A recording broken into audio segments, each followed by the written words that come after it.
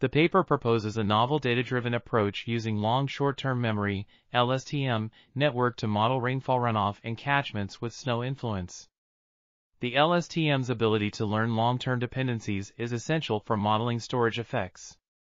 The authors use 241 catchments from the CAMELS dataset and compare their results to the Sacramento Soil Moisture Accounting Model, SACSMA, coupled with the SNOW 17 snow routine.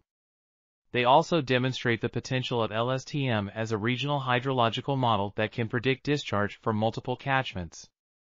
Additionally, they show the possibility of transferring process understanding learned at the regional scale to individual catchments, increasing model performance. The results indicate that the LSTM outperforms SACSMA plus SNOW 17, highlighting its potential for hydrological modeling applications. This article was authored by F. Kratzert, F. Kratzert, D. Klotz, and others. We're RTCL.TV, links in the description below.